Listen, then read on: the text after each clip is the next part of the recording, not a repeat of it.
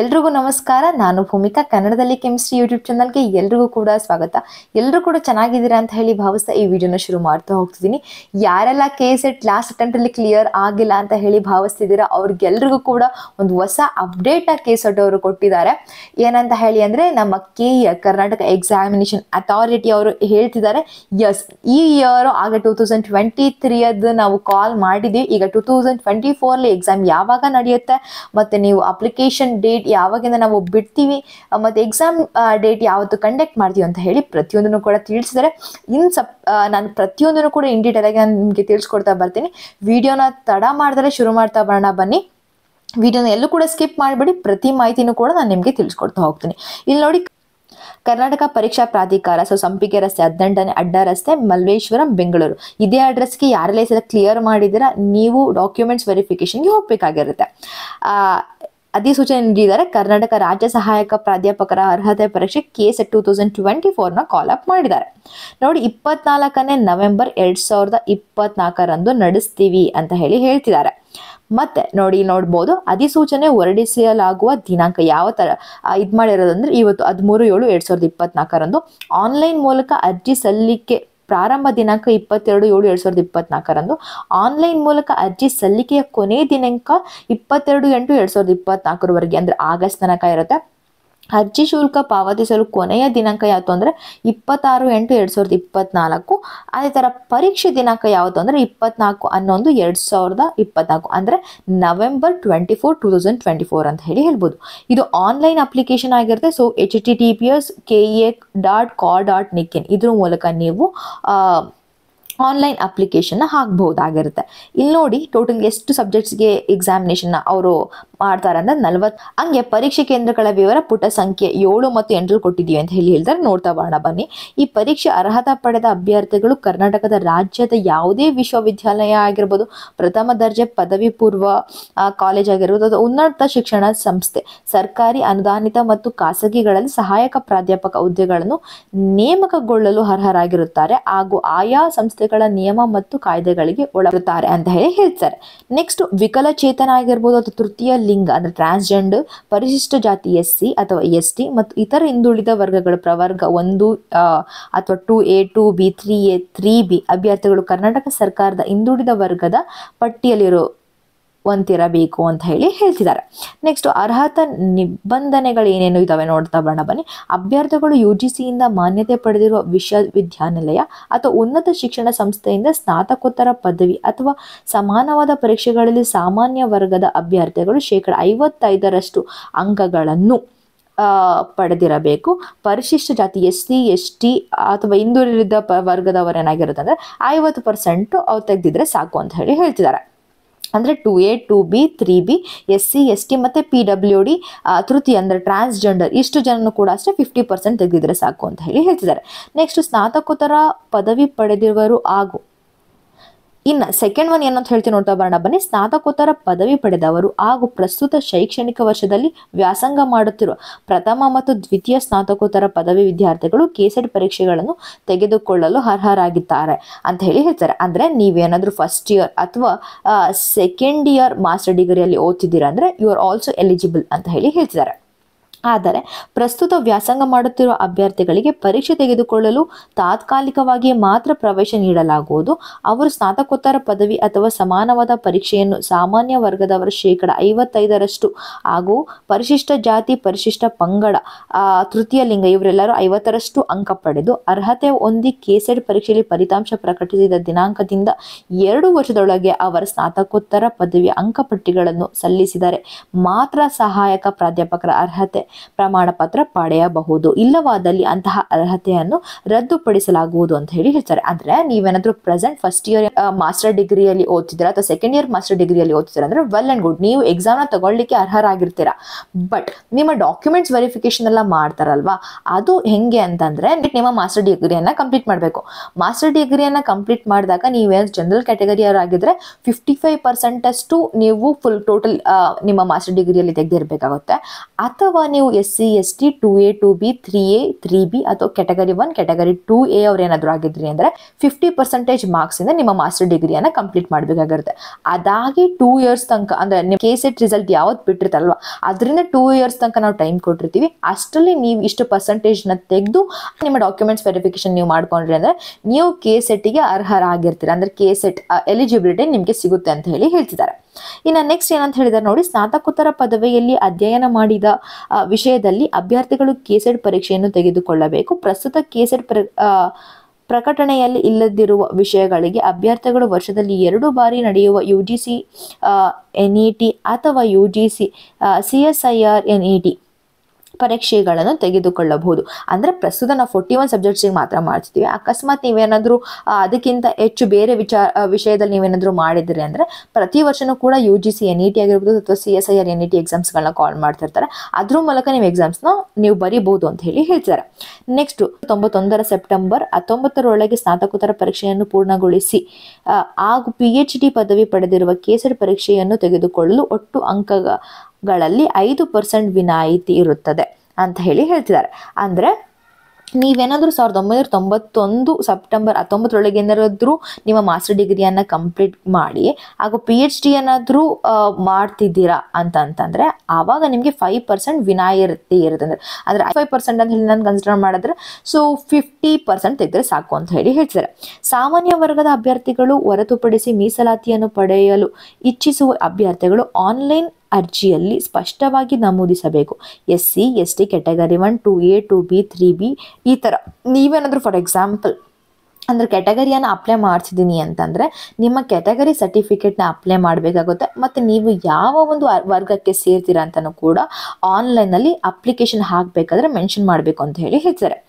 ಹೊರ ರಾಜ್ಯದ ಅಭ್ಯರ್ಥಿಗಳು ಯಾವುದೇ ರೀತಿಯ ಮೀಸಲಾತಿ ಇರುವುದಿಲ್ಲ. ಅವರನ್ನು ಸ್ನಾತಕೋತ್ತರ ಪರೀಕ್ಷೆಯಲ್ಲಿ ನಿಗದಿತ ಕನಿಷ್ಠ ಐವತ್ತೈದರಷ್ಟು ಅಥವಾ ಅದಕ್ಕಿಂತ ಹೆಚ್ಚು ಅಂಕಗಳನ್ನು ಪಡೆದಿದ್ದಲ್ಲಿ ಮಾತ್ರ ಸಾಮಾನ್ಯ ವರ್ಗದಡಿಯಲ್ಲಿ ಪ್ರವೇಶವನ್ನು ನೋಂದಾಯಿಸಬಹುದು. S C S T O B C ಅರ್ಹತೆಯ ನಿ ನಿಯಮವು ಕೇವಲ Karnataka S C S T O B C ಅಭ್ಯರ್ಥಿಗಳಿಗೆ ಮಾತ್ರ ಅನ್ವಯವಾಗುತ್ತದೆ. ನೀವೇನಾದರೂ ಬೇರೆ ಸ್ಟೇಟ್ ಅಥವಾ ಇಂಟರ್ ಸ್ಟೇಟ್ ಅಂತ ಹೇಳಿ ಕರಿತೀವಲ್ವ ಆ ಥರ ಏನಾದರೂ ಆಗಿ ಕೆ ಸೆಟ್ನ ಬರಿಬೇಕು ಅಂತ ಹೇಳಿ ಅಂದ್ಕೊಂಡಿದ್ರೆ ನಿಮಗೆ ಯಾವುದೇ ಆದಂತಹ ಎಸ್ ಸಿ ಎಸ್ ಟಿ ಅಥವಾ ಒ ಬಿ ಸಿ ಕ್ಯಾಟಗರಿ ಅಂಡರ್ಲಿ ಬರುವಂತಹ ನಿಮಗೆ ರಿಸರ್ವೇಷನ್ಸ್ಗಳು ಸಿಗಲ್ಲ ಅಂತ ಹೇಳಿ ಹೇಳ್ತಾರೆ ಅಭ್ಯರ್ಥಿ ಮುಖ್ಯವಾಗಿ ಗಮನಿಸಬೇಕಾದ ಅಂಶವೇನೆಂದರೆ ಅವರು ಅಭ್ಯರ್ಥಿತನವು ತಾತ್ಕಾಲಿಕವೆಂದು ಭಾವಿಸಿಕೊಳ್ಳತಕ್ಕದ್ದು ಪ್ರವೇಶಾತಿ ಪಡೆದ ಕಾರಣಕ್ಕೆ ಕರ್ನಾಟಕ ಪರೀಕ್ಷಾ ಪ್ರಾಧಿಕಾರವು ಅವರನ್ನು ಅರ್ಹ ಅಭ್ಯರ್ಥಿಯಾಗಿ ಪರಿಗಣಿಸಿದೆ ಎಂದು ತಿಳಿದ ತಿಳಿಯಬಾರದು.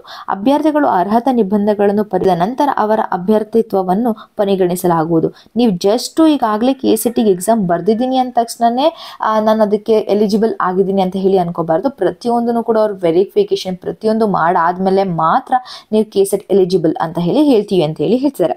ಈಗಾಗಲೇ ಕೆ ಸೆಟ್ ಪರೀಕ್ಷೆಯಲ್ಲಿ ಅರ್ಹತೆ ಪಡೆದ ಅಭ್ಯರ್ಥಿಗಳು ಮುಂಬರುವ ಕೆ ಸೆಟ್ ಪರೀಕ್ಷೆಗೆ ಅದೇ ವಿಷಯದಲ್ಲಿ ಅರ್ಜಿ ಸಲ್ಲಿಸುವಂತಿಲ್ಲ. ಕೆ ಸೆಟ್ ಅರ್ಹತೆಯನ್ನು ಹೊಂದಿರುವ ಅಭ್ಯರ್ಥಿಗಳು ಪುನಃ ಅರ್ಜಿ ಸಲ್ಲಿಸಿದ್ದು ಕಂಡು ಬಂದ ಪಕ್ಷದಲ್ಲಿ ಅಂತಹ ಅಭ್ಯರ್ಥಿಗಳ ಅರ್ಹತೆಯನ್ನು ರದ್ದುಪಡಿಸಲಾಗುವುದು. ಹಾಗೂ ಅವರು ಹಿಂದೆ ಪಡೆದಿರುವ ಕೇಸರಿ ಪರೀಕ್ಷೆ ಅರ್ಹತೆಯನ್ನು ಕೂಡ ನೋಟಿಫಿಕೇಶನ್ ಮೂಲಕ ಹಿಂಪಡೆಯಲಾಗುವುದು ಅಂತ ಹೇಳ್ತಾರೆ. ನೋಡಿ, ಇದು ತುಂಬ ಅಂದ್ರೆ ತುಂಬಾ ಇಂಪಾರ್ಟೆಂಟ್ ಏಯ್ತ್ ಒನ್ ಏನಂತ ಹೇಳ್ತಾರೆ ಅಂದರೆ ನೀವು ಆಲ್ರೆಡಿ ಕೆ ಅನ್ನೋದು ಏನಾದರೂ ಕ್ಲಿಯರ್ ಮಾಡಿದರೆ, ದಯವಿಟ್ಟು ಅಂಥವ್ರು ಮತ್ತಿನ್ನೊಂದ್ಸಲ ಎಕ್ಸಾಮ್ಗೆ ಹಾಕಕ್ಕೆ ಹೋಗ್ಬೇಡಿ.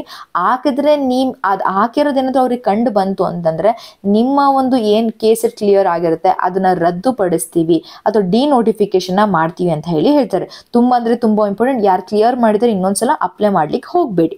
ಒಂಬತ್ತನೇದೇ ಅಂತ ಹೇಳ್ತಾರೆ ಅಂದ್ರೆ ಭಾರತೀಯ ವಿಶ್ವವಿದ್ಯಾನಿಲಯ ಅಥವಾ ಸಂಸ್ಥೆ ನೀಡುವ ಎರಡು ವರ್ಷದ ಸ್ನಾತಕೋತ್ತರ ಡಿಪ್ಲೊಮೊ ಪ್ರಮಾಣ ಪತ್ರ ಅಥವಾ ವಿದೇಶಿ ವಿಶ್ವವಿದ್ಯಾನಿಲಯ, ಸಂಸ್ಥೆ ನೀಡುವ ವಿದೇಶಿ ಪದವಿ, ಡಿಪ್ಲೊಮೊ ಪ್ರಮಾಣ ಪತ್ರ ಹೊಂದಿರುವ ಅಭ್ಯರ್ಥಿಗಳು ತಮ್ಮ ಹಿತದೃಷ್ಟಿಯಿಂದ ಮಾನ್ಯತೆ ಪಡೆದ ಭಾರತೀಯ ಸ್ನಾತಕೋತ್ತರ ಪದವಿಯೊಂದಿಗೆ ತಮ್ಮ ಡಿಪ್ಲೊಮೊ ಅಥವಾ ಪದವಿ ಅಥವಾ ಪ್ರಮಾಣ ಪತ್ರದ ಸಮಾನತೆಯನ್ನು association of Indian universities New Delhi ಇಂದ್ಕೊಳಿಸಬೇಕು ಅಂತ ಹೇಳಿ ಹೇಳ್ತಾರೆ. ಅಂದರೆ ನೀವೇನಾದರೂ ಫಾರ್ ಎಕ್ಸಾಂಪಲ್ ಡಿಪ್ಲೊಮೊ ಮಾಡಿದ್ರೆ, ಭಾರತೀಯ ವಿಶ್ವವಿದ್ಯಾನಿಲಯದಿಂದ ಅಂತಂದರೆ ದೆನ್ ನೀವೇನು ಮಾಡಬೇಕು ಅಂತಂದರೆ ಅಸೋಸಿಯೇಷನ್ ಆಫ್ ಇಂಡಿಯನ್ ಯೂನಿವರ್ಸಿಟಿ ಇದೆ ಅಲ್ವಾ? ಅದರಿಂದ ನೀವೇನು ಮಾಡಬೇಕು ಅಂದರೆ ಕನ್ಫರ್ಮೇಷನ್ನ ಮಾಡ್ಕೋಬೇಕು ಅಂತ ಹೇಳಿ ಹೇಳ್ತಾರೆ. ಇಷ್ಟು ಪಾಯಿಂಟ್ಗಳು ಏನಾದರೂ ಡೌಟ್ ಇತ್ತು ಅಂತಂದರೆ ಕಮೆಂಟ್ ಸೆಕ್ಷನಲ್ಲಿ ತಿಳಿಸಿದ್ರೆ ನಾವು ಬೇಕಾದರೆ ನಿಮಗೆ ರಿಪ್ಲೈ ಮಾಡಿ ಕೊಡ್ತೀವಿ. ನೆಕ್ಸ್ಟು ಕರೆ, ಇಲ್ಲಿ ಹೇಳ್ತಿದ್ದಾರೆ ಕರ್ನಾಟಕ ರಾಜ್ಯ ಪರೀಕ್ಷಾ ಪ್ರಾಧ್ಯಾಪಕರ ಅರ್ಹತೆ ಪರೀಕ್ಷೆಯನ್ನು ತೆಗೆದುಕೊಳ್ಳಲು ಗರಿಷ್ಠ ವಯೋಮಿತಿ ಇರುವುದಿಲ್ಲ. ಅಂದ್ರೆ ನಿಮ್ಮ ಮ್ಯಾಕ್ಸಿಮಮ್ ಏಜ್ ಲಿಮಿಟ್ ಅಂತ ಏನು ಫಿಕ್ಸ್ ಆಗಿಲ್ಲ ಅಂತ ಹೇಳಿ ಹೇಳ್ತಿದ್ದಾರೆ. ನೆಕ್ಸ್ಟ್ ಕರ್ನಾಟಕ ರಾಜ್ಯದಲ್ಲಿ ಸಹಾಯಕ ಪ್ರಾಧ್ಯಾಪಕರ ಹುದ್ದೆಗೆ ವಿಶ್ವವಿದ್ಯಾನಿಲಯ, ಪ್ರಥಮ ದರ್ಜೆ ಕಾಲೇಜುಗಳು, ಉನ್ನತ ಶಿಕ್ಷಣ ಸಂಸ್ಥೆಗಳು ಅಥವಾ ಅಭ್ಯರ್ಥಿಗಳು ಕಡ್ಡಾಯವಾಗಿ ಕೆಸೆಟ್ ಅಥವಾ ಎನ್ ಇ ಟಿ ಪರೀಕ್ಷೆಯಲ್ಲಿ ಅರ್ಹತೆ ಪಡೆದಿರಬೇಕೆಂದು ನಿಯಮವಿದೆ. ಅಂದರೆ ನೀವೇನಾದ್ರು ಡಿಗ್ರಿ ಕಾಲೇಜಸ್ ಅಥವಾ ಮಾಸ್ಟರ್ ಡಿಗ್ರಿ ಕಾಲೇಜಸ್ ಇಲ್ಲೇನಾದರೂ ಅಥವಾ ಏಡೆಡ್ ಕಾಲೇಜಸಲ್ಲಿ ಮಾಸ್ಟರ್ ಡಿಗ್ರಿ ಅಥವಾ ಏಡೆಡ್ ಕಾಲೇಜಸ್ಲಿ ವರ್ಕ್ ಮಾಡಬೇಕು. ಡಿಗ್ರಿ ಏಡೆಡ್ ಕಾಲೇಜಸಲ್ಲಿ ಅಂದರೆ ನೀವು ಪಕ್ಕ ಎನ್ ಇ ಟಿ ಎಕ್ಸಾಮ್ನ ಕ್ಲಿಯರ್ ಮಾಡಬೇಕಾಗಿರುತ್ತೆ, ಅಥವಾ ಕೆ ಸಿ ಟಿ ಎಕ್ಸಾಮ್ನ ಕ್ಲಿಯರ್ ಮಾಡಬೇಕಾಗಿರುತ್ತೆ ಅಂತ ಹೇಳಿ ಹೇಳ್ತಿದ್ದಾರೆ.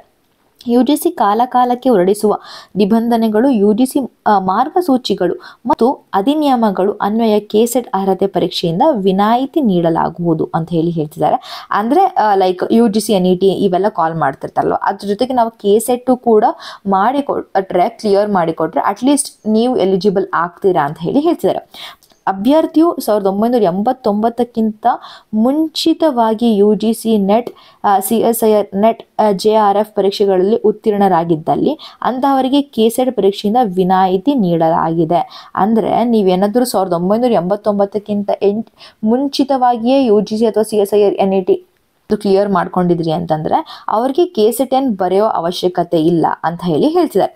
ಅಭ್ಯರ್ಥಿಗಳಿಗೆ ಒಂದನೇ ಜೂನ್ ಎರಡ್ ಸಾವಿರದ ಎರಡರಕ್ಕಿಂತ ಕ್ಕಿಂತ ಮೊದಲೇ ನಡೆಯಲಾದ ಸಹಾಯಕ ಪ್ರಾಧ್ಯಾಪಕರ ಅರ್ಹತಾ ಪರೀಕ್ಷೆಯಲ್ಲಿ ತೇರ್ಗಡೆಯಾಗಿದ್ದು, ಅಭ್ಯರ್ಥಿಗಳು ಕೆಸೆಡ್ ಪರೀಕ್ಷೆಯಿಂದ ವಿನಾಯಿತಿ ನೀಡಲಾಗುತ್ತದೆ. ಅಂತಹ ಅಭ್ಯರ್ಥಿಗಳು ಭಾರತದಲ್ಲಿ ಎಲ್ಲಿಯಾದರೂ ಸಹಾಯಕ ಪ್ರಾಧ್ಯಾಪಕರ ಹುದ್ದೆಗೆ ಅರ್ಹರಾಗುತ್ತಾರೆ. ಆದರೆ ಒಂದನೇ ಎರಡ್ ಸಾವಿರದ ಎರಡರ ನಂತರ ಕೆಸೆಟ್ ಅರ್ಹರಾದ ಅಭ್ಯರ್ಥಿಗಳು ಆಯಾ ರಾಜ್ಯಗಳಲ್ಲಿ ವಿಶ್ವವಿದ್ಯಾನಿಲಯಗಳು, ಪ್ರಥಮ ದರ್ಜೆ ಕಾಲೇಜುಗಳಲ್ಲಿ ಮಾತ್ರ ಸಹಾಯಕ ಪ್ರಾಧ್ಯಾಪಕರ ಹುದ್ದೆಗೆ ಅರ್ಹರಾಗುತ್ತಾರೆ ಅಂತ ಹೇಳ್ತಾರೆ. ಅಂದ್ರೆ ಜೂನ್ ಟೂ ತೌಸಂಡ್ ಟೂಕ್ಕಿಂತ ಮುಂಚೆನೆ ಏನಾದರೂ ನೀವು ಕೆ ಸೆಟ್ನ ಕ್ಲಿಯರ್ ಮಾಡಿ ಅಂದರೆ U G C C S I ಈ ಥರ ಕ್ಲಿಯರ್ ಮಾಡಿದೆ ಅಂದರೆ ನೀವು ಯಾವ ರಾಜ್ಯದಲ್ಲಿ ಹೋಗಿ ನೀವು ಏನಾದರೂ ಅಪಾಯಿಂಟ್ ಆಗಬಹುದು ಅಂತ ಹೇಳಿ ಹೇಳ್ತಾರೆ. ಆದರೆ ಟೂ ತೌಸಂಡ್ ಟೂ ಇಂದ ಆದಮೇಲೆ ನೀವೇನಾದರೂ ಕೆ ಸೆಟ್ನ ಕ್ಲಿಯರ್ ಮಾಡಿದೆ ಅಂದರೆ ಜಸ್ಟ್ ನಮ್ಮ ಕರ್ನಾಟಕದ ರಾಜ್ಯದಲ್ಲಿಯೇ ಯಾವಾಗ ಡಿಗ್ರಿ ಕಾಲೇಜಸ್ಗೆ ಅಥವಾ ಮಾಸ್ಟರ್ ಡಿಗ್ರಿ ಕಾಲೇಜಸ್ಸಿಗೆ ಅಥವಾ ಏಡೆಡ್ ಕಾಲೇಜಸ್ಗಳಿಗೆ ಕಾಲ್ ಮಾಡ್ತಾರೆ ಆವಾಗ ನಮ್ಮ ಕರ್ನಾಟಕ ರಾಜ್ಯಕ್ಕೆ ಮಾತ್ರ ಅಪ್ಲೈ ಮಾಡಬಹುದು ಅಂತ ಹೇಳಿ ಹೇಳ್ತಾರೆ. ಇನ್ನು ಪರೀಕ್ಷೆ ಶುಲ್ಕಕ್ಕೆ ನಾವು ಬರೋದಾದ್ರೆ ಅದು two A two B three A three B ಮತ್ತು ಇತರ ರಾಜ್ಯದ ಅಭ್ಯರ್ಥಿಗಳೇ ತೌಸಂಡ್ ರುಪೀಸ್ ಇರುತ್ತೆ. ಇನ್ನು ಪ್ರವರ್ಗ ಒಂದು S C S T P W ಮತ್ತು ತೃತೀಯ ಲಿಂಗ ಅಭ್ಯರ್ಥಿಗಳಿಗೆ ಏಳ್ನೂರು ರೂಪಾಯಿ ಇರುತ್ತೆ. ಶುಲ್ಕ ಪಾವತಿಸುವ ವಿಧಾನ, ಶುಲ್ಕವನ್ನು ಆನ್ಲೈನ್ ಮೂಲಕ ಪಾವತಿಸಬೇಕು. ಶುಲ್ಕ ವಿನಾಯಿತಿಯನ್ನು ಪ್ರವರ್ಗ ಎಸ್ ಸಿ ಎಸ್ ಟಿ ತೃತೀಯ ಲಿಂಗ ಮತ್ತು ವಿಕಲಚೇತನರು medical certificate with forty percent or more disability ಹೊಂದಿರೋರ ಅಭ್ಯರ್ಥಿಗಳಿಗೆ ನೀಡಲಾಗುತ್ತದೆ ಅಂತ ಹೇಳಿ ಹೇಳ್ತಿದ್ದಾರೆ. ಆನ್ಲೈನ್ ಮೂಲಕನೇ ಪೇ ಮಾಡಬೇಕು ಅಂತ ಹೇಳಿ ಹೇಳ್ತಿದ್ದಾರೆ. ಸೂಚನೆ ಬೇರೆ ಯಾವುದೇ ವಿಧಾನದ ಮೂಲಕ ಶುಲ್ಕ ಪಾವತಿಸಲು ಅವಕಾಶವಿರುವುದಿಲ್ಲ. ಉದಾಹರಣೆ money order demand draft I P O office challan ಇತ್ಯಾದಿಗಳು ಒಪ್, ಒಪ್ಪಲಾಗುವುದಿಲ್ಲ. ಒಮ್ಮೆ ಶುಲ್ಕ ಪಾವತಿಸಿದ ನಂತರ ಅದನ್ನು ಯಾವುದೇ ಕಾರಣಕ್ಕೂ ಹಿಂತಿರುಗಿಸುವುದಿಲ್ಲ. ಹೋದ ಸಲ ನಾವು ಪೋಸ್ಟ್ ಆಫೀಸಲ್ಲಿ ಹೋಗ್ಬಿಟ್ಟು ಚಲನ ಪೇ ಮಾಡಬೇಕಿತ್ತು ಬಟ್ ಈ ಸಲ ಏನಿಲ್ಲ ಆನ್ಲೈನಲ್ಲಿ ನಾವು ಪೇ ಮಾಡಬಹುದು ಅಂತ ಹೇಳ್ತಾರೆ. ಮತ್ತೆ ಒಂದ್ಸಲ ನೀವು ಪೇ ಮಾಡಿದ್ಮೇಲೆ ಅಮೌಂಟ್ ಮತ್ತೆ ವಾಪಸ್ ರೀ ಬ್ಯಾಕ್ನ ತಗೊಳ್ಲಿಕ್ಕಾಗಲ್ಲ ಅಂತ ಹೇಳಿ ಹೇಳ್ತಾರೆ. ಇನ್ನು ಕೆಸೆಟ್ ವಿಧಾನ ಪರೀಕ್ಷಾ ದಿನಾಂಕ ಅಂತ ಹೇಳಿ ಬಂದಾಗ ಇಪ್ಪತ್ತ ನಾಲ್ಕು, ಹನ್ನೊಂದು, ಎರಡು ಸಾವಿರದ ಇಪ್ಪತ್ನಾಲ್ಕರಂದು ನೂ, ಅಂದರೆ ಎರಡು ಇರುತ್ತೆ. ಪತ್ರಿಕೆ ಒಂದು, ಪತ್ರಿಕೆ ಎರಡು ಅಂತ ಹೇಳಿ ಅಂಕಗಳು ನೂರು ಮತ್ತು ಇನ್ನು ಟೋಟಲ್ ಮುನ್ನೂರು ಮಾರ್ಕ್ಸಿಗೆ ನಡೆಯುತ್ತೆ. ಐವತ್ತು ಪ್ರಶ್ನೆಗಳು ಕಡ್ಡಾಯವಾಗಿರ್ತದೆ. ಇದರಲ್ಲೂ ಕೂಡ ನೂರ ಪ್ರಶ್ನೆಗಳು ಕೂಡ ಕಡ್ಡಾಯವಾಗಿರುತ್ತೆ ಅದು ಕೂಡ ಆಪ್ಷನ್ಸ್ ಇರಲ್ಲ. ಟೋಟಲ್ ಮೂರು ಗಂಟೆ ನಡೆಯುತ್ತೆ. ಸೊ ಹತ್ತರಿಂದ ಮಧ್ಯಾಹ್ನ ಒಂದು ಗಂಟೆವರೆಗೆ. ಇದು ನೀವು ಅಬ್ಸರ್ವ್ ಮಾಡಬೇಕು. ಬೆಳಿಗ್ಗೆ ಹತ್ತು ಗಂಟೆಯಿಂದ ಮಧ್ಯಾಹ್ನ ಒಂದು ಗಂಟೆ ತನಕ ನಡೆಯುತ್ತೆ ಕಂಟಿನ್ಯೂಸ್ ಆಗಿ. ಓದಿಸಲು ಥರ ಯಾವುದೇ ಬ್ರೇಕ್ ಆ ಥರ ಎಲ್ಲ ಇರೋದಿಲ್ಲ.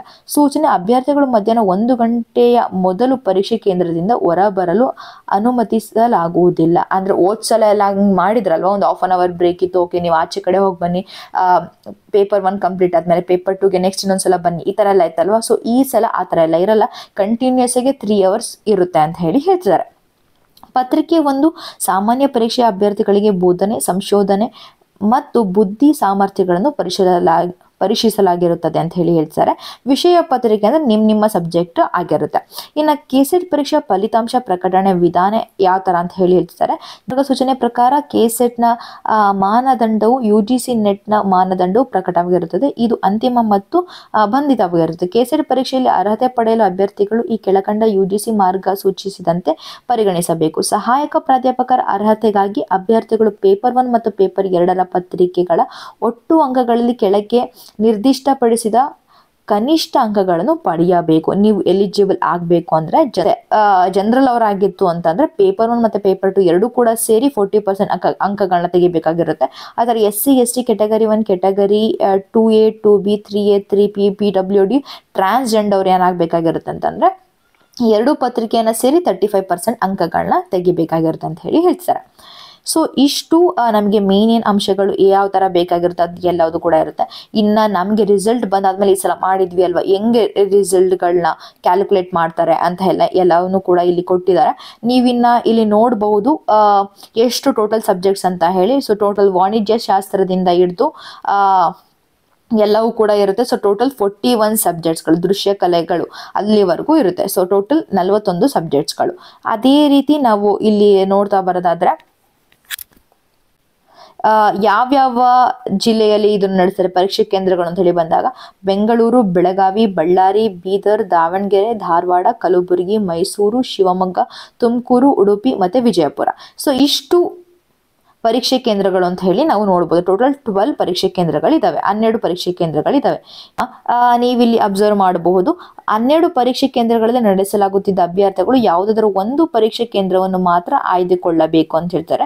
ಇನ್ನು ಭಾಗ ಎ ಇವೆಲ್ಲ ಇದಾವಲ್ವಾ? ವಾಣಿಜ್ಯ ಶಾಸ್ತ್ರ, ಇತಿಹಾಸ ಇವೆಲ್ಲ ಕೂಡ ಜೀವಶಾಸ್ತ್ರ, ಈ ವಿಜ್ಞಾನಗಳು ಇವರು ಯಾವುದಾದ್ರೂ ಒಂದು ಕೇಂದ್ರವನ್ನು ಆಯ್ಕೆ ಮಾಡ್ಕೋಬೇಕು ಅಂತ ಹೇಳಿದ್ದಾರೆ. ಅಭ್ಯರ್ಥಿ ಭಾಗ ಬಿ ಅಲ್ಲಿ ನಡೆಯಲಾಗಿರುವ ಇಪ್ಪತ್ತ್ಮೂರು ವಿಷಯಗಳಿಗೆ ಬೆಂಗಳೂರು ಮಾತ್ರ ಆಯ್ದುಕೊಳ್ಳಬೇಕು ಇಷ್ಟು ಇವ್ ಯಾವ್ಯಾವ್ದನ್ನೆಲ್ಲ ಕೊಟ್ಟಿದ್ದಾರೆ ಇವರು ಬರೀ ಬೆಂಗಳೂರನ್ನ ಮಾತ್ರ ಆಯ್ಕೆ ಮಾಡ್ಕೋಬೇಕು ಹೊರತು ಇನ್ನು ಯಾವ್ದನ್ನೂ ಕೂಡ ಆಯ್ಕೆ ಮಾಡ್ಕೊಳ್ಳೋ ಅವಶ್ಯಕತೆನೇ ಇಲ್ಲ ಅಂತ ಹೇಳಿ ಹೇಳಿದ್ದಾರೆ.